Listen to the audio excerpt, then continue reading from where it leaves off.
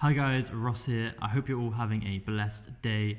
Welcome back to another video. In today's video, we're going to be looking at the same project from the previous video, but this time focusing on the texturing side of things. So I saw all the comments, everyone asking for me to kind of do a breakdown of how I set up the glass and the label.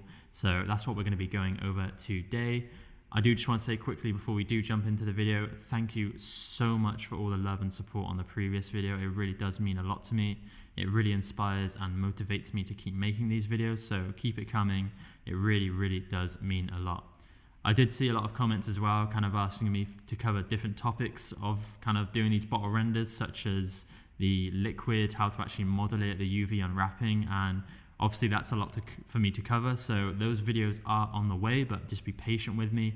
I do need to do kind of each bit step by step in each section, so yeah, just bear with me, that is on the way. Keep your eyes peeled for those videos. So today we're going to focus on the texturing. I'm going to stop waffling now and let's get stuck in. So we're in Cinema 4D and you can see we have the label set up here. Um, and essentially I'm just going to break, break it down step by step. So let's jump straight into the glass material. And if you haven't used Redshift much before, this may look a little bit overwhelming, but I promise you, I'm going to try and make as much sense of it as I can as possible. So you can see that the actual label is built into the glass. Um, typically, I'll do the label as a separate object, but in this case, um, it was easier and quicker for me to do the label just in one. Um, and due to kind of deadlines, this made the most sense. So yeah, this is why it looks a little bit crazy. This here is the glass material and this here is the label material. So we're going to break both of these down. Hopefully it makes sense to you guys. So let's start off with the glass material. So I have this shortcut set up, Shift Q, um, which essentially is going to output this to the surface. But if you don't, all you have to do is just you know take your node and just drag this to your surface and that is going to show you just what that node is, um, which is really useful for, say, if you created something like a Maxon noise, I can output this and you know just see it without any lighting or anything else involved. So really, really useful tip there. Um, I do it all the time just to kind of check on different areas of my texturing and help to really finesse those different areas. So we're looking at the glass and I'm actually going to jump out of this camera just so we can see the whole bottle. I think that makes a bit more sense for this for this part of the video. And you know, let's just disable the kind of neck label and the lid as well. Okay, so we have our glass, and you know you can see there's not really many nodes to this. Um, we're using the preset glass, and the only thing I changed for this is the refraction color. So based on the client feedback, um, hold on, I'm just going to actually hide the liquid. That would make even more sense. Uh, so yeah, like I was saying, based on client feedback, they said it had a tiny tint of blue to it. So I just went into the refraction and added 3% of saturation. And you can see even with 3%, it makes quite a bit of difference. Uh, if you if you crank this all the way up, it really does start to get a little bit crazy. Um, and it looks really cool if you're going for that type of look, but obviously I'm trying to keep this as realistic as possible. So just a tiny bit of saturation in there is going to give you kind of that color that you need.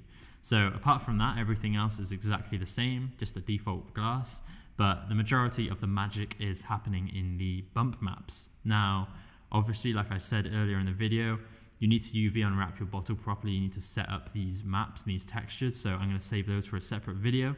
But here I'm just going to show you kind of how they work and how I set them up. So we have our stripes texture. We have our kind of text. Oh no, we have our lugs at the bottom, at the base of the bottle.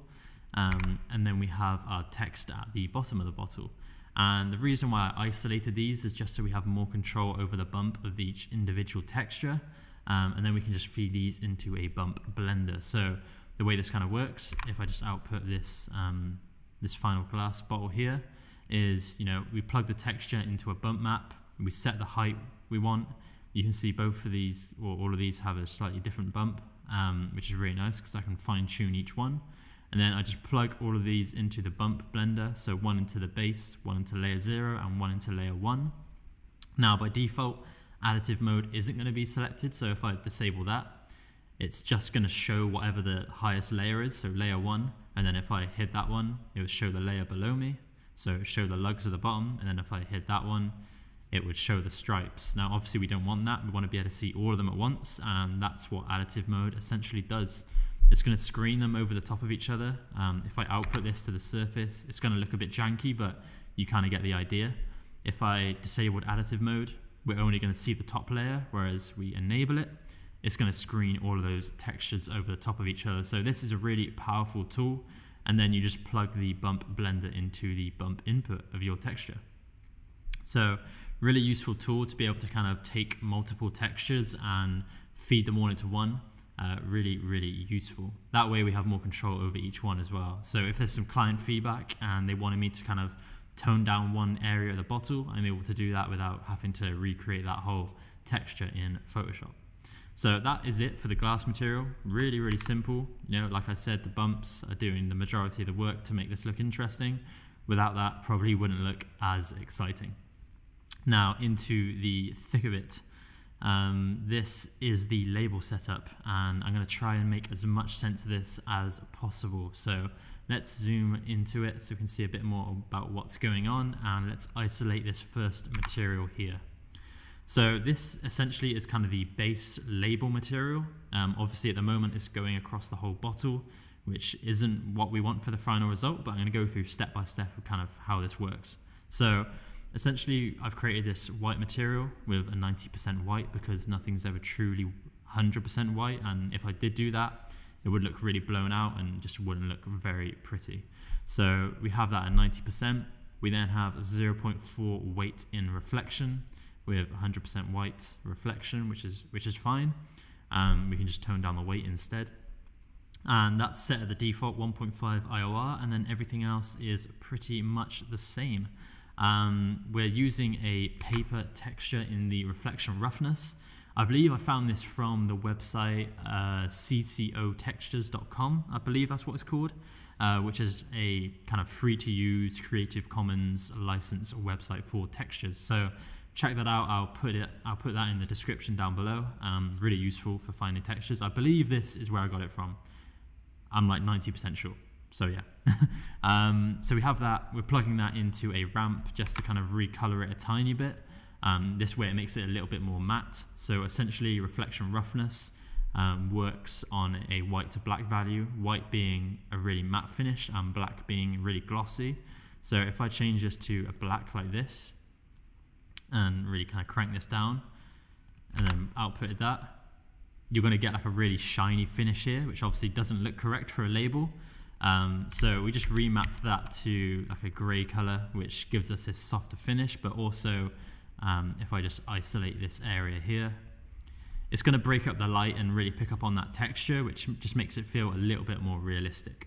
So we've plugged that into the reflection roughness and kind of like we have with the glass, we've used a few different textures and a bump blender to then add in these additional details. Now the first one is just a cutout of this label. And what this is doing is adding this kind of shadow and this depth along the outside of the label. Uh, you can see without this, if I just kind of turned it off, you know, we don't get any of that depth. And realistically, if you look at a glass bottle, there is a little bit of separation and a little bit of depth to that label. So this just helps to kind of simulate that. Um, and we're not actually blurring this texture because we want it to have a really harsh result. If we blurred it, it would kind of look like it was part of the glass bottle, which obviously it's not. It's been like wrapped onto it. Um, so this just helps to simulate that depth. We then have the same paper texture, but as a normal map. Um, this again is just helping to kind of make that texture more prominent and make that label look more realistic. And then finally, we have these stripes along the bottom, which were part of the label design. And all of these are plugged into a bump map, the exact same setup as the glass material, and then in a bump blender with additive mode and that gives us kind of the base layer for our label. Uh, now obviously we're missing the black and the gold text so let's kind of run through about how I set those up. So we've created this black material here and you can see that I forgot to turn off the UV mesh in the texture uh, but that's fine because we're going to be cutting that out anyway. Um, but essentially what I've done here is I've created a black and white texture of the text um, just the black text and slightly blurred it, which is going to give us a nice kind of beveled finish to the text. Um, so it looks like it's actually kind of embossed into the paper. We then output this and you know everything's pretty default. Um, we have this kind of dark black color with a slightly with a slight bit of saturation. Um, the client said it had kind of like a yellowish tone to it. So I just pumped a little bit of saturation into that to add a little bit of color. Um, just makes it a little bit more interesting. And that is it for the black text. And then we have the gold text. So similar kind of setup. We've created this black and white texture here with this gold text and, you know, just blurred it a tiny bit. Now I probably could have done a similar thing as to the previous ones where I separate the different elements out into different textures, but I think this worked as it was. So I just kept it all as one texture. Uh, plug that into the bump, plug that into the material. And for this one, I did bump the IOR up. So this just makes the reflections a bit more shiny. You can see if I bring this down, they're a bit duller. Um, and obviously we did want this to be like a really nice gold glossy finish to the text. So just bumped up the IOR on that slightly. And then what we've done is we've created a material blender for this for this label. So if I just kind of run through step by step on how this is working, hopefully it will make sense. So let's just kind of organize this a tiny bit.